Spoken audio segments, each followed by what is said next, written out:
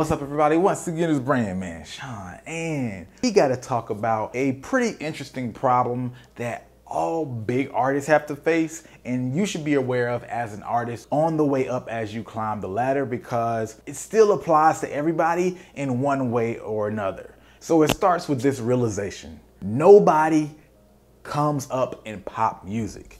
Why is that relevant? Well, let's unpack that, break this conversation down. You have big artists like the Migos, you have Taylor Swift, you have Beyonce, Rihanna, Miley Cyrus, so many of these huger artists that a lot of people consider pop artists to this day. But it's getting really interesting because for the first time ever, rap music is popular music. More importantly, it's being acknowledged as popular music. Let me tell you why that's so relevant. If you look at all of these big artists that I named, you realize that you can't come up in pop culture. Everybody in pop culture that's huge started off at a smaller place within culture. They all started in subcultures. Taylor Swift started in country music. Miley Cyrus, country music, and she was a child star. Selena Gomez was a child Disney star. Beyonce with Destiny's Child. The Migos with hip hop. The reason all this is so relevant is because you have to have a culture to drive your music up, to drive you to a popularity before you can move into the next level of popularity, which is pop music. So if you think about the fact that country music, even if you don't like it, is a defined culture, rap music even if you don't like it, is a defined culture. Having a defined structured culture, even though artists don't like boundaries, gives you what you need to be propelled forward. Because what people do within cultures is they share things. And you as an artist need to be shared. You need your music to be shared. Selena Gomez and Miley Cyrus being associated with a TV show and just the whole child star realm, they had a defined structure, you know, Disney and that whole circuit to be shared within.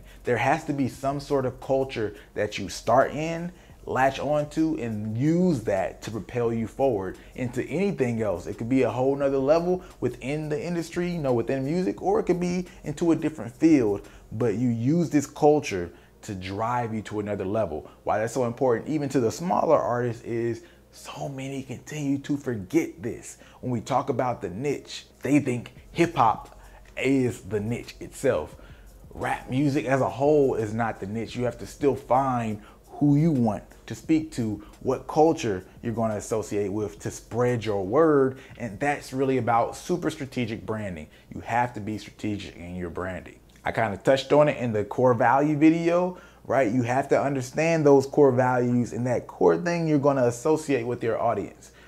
Where are you guys going to connect? I wanted to do this video as more of an open discussion, really, just because of the fact that a lot of people don't really think about the fact that pop artists are where they are only after they've traveled through other fields because the people that you don't necessarily look at, like if you like hip hop but you don't like country, you missed a lot of the journey these other artists took. It just seems like they're being pushed by this big machine in pop.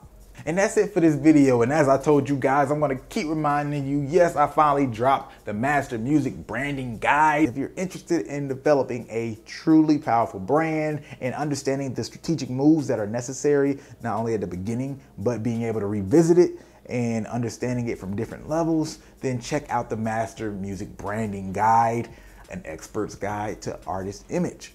Especially since so many of you guys begged me to do this thing. I got you. Now go and check it out. And also check out that bonus guide I did, the professional branding guide for dummies. is not built for building your brand for a fan base, it's building your brand differently in terms of companies. Those are two different brands that every other artist has.